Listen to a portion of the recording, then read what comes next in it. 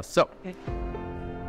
scary, crazy, painful. How, what was your experience like? Absolutely no pain. Okay, great. Little nerve wracking. Uh huh. Nerve wracking coming in, nerve wracking on the procedure bed. Um, what was what was the most nerve wracking part for you? I think the waiting.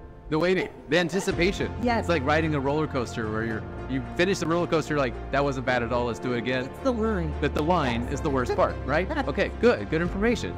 Um, listen, you you came in. Uh, what was your prescription? Do you remember? Oh my gosh, negative nine and negative seven. Yes, actually, it was a little bit. That's your with your contacts. You were a minus 10 and in one eye, minus like eight in the other one. Okay. So, absolutely legally blind. Yeah. All right. How are you seeing now? I know it's kind of blurry, but you, you can see my face. Starting to come into focus. Okay. All right. Yeah. You couldn't see me before. I was just some Okay. random blur, right? Watercolor. Yes. Can you see? uh, It might not be able to see the small little hands on the clock, but you can tell that there's a clock there. Right. Yes, That's- we can. Nuts. Exactly. When did you start wearing glasses? How old were you? Kindergarten. All right. I remember kindergarten having Coke bottle. Kindergarten. So your entire memories, all of them have been framed, right? You have like a frame.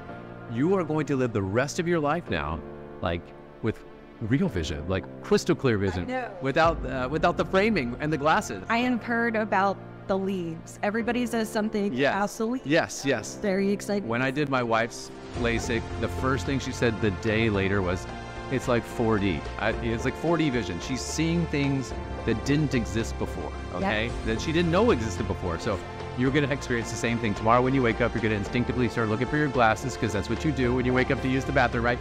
You're not going to need them. You're going to walk over and you're going to start to see the things that you've been missing. And I'm excited for you. That's what I told my husband was I don't even know what it's like to go to the bathroom at night without worrying about stubbing my toe. Your life is about to change, and I'm excited. I'm excited for you. All right, let's go take a look at you over the microscope.